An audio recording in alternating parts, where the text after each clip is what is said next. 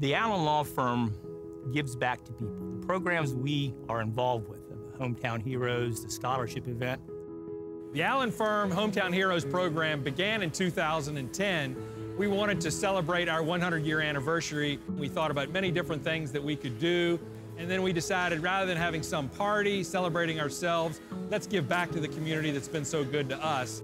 At Allen and Allen, of course, we have the privilege and the responsibility of helping people try to get a little bit of justice in situations where drunk drivers have hurt others. So we're trying to make a difference after the fact. But you and MADD, you're doing so much more because you are making a difference before the fact. Giving 15 scholarships to 15 well deserving kids is wonderful. And hopefully, as we say always in this program, is that you always pay it forward. We've done this, again, I've been doing it for over 17 years, 15 kids a year. That's a lot of paying it forward. Honestly, I can't say enough about Allen Allen, the organization. That level of appreciation for your community and what they do for you is not found often. Allen and Allen is kind of synonymous with community. They're, they're wrapped in together. They've been tied together from the very beginning.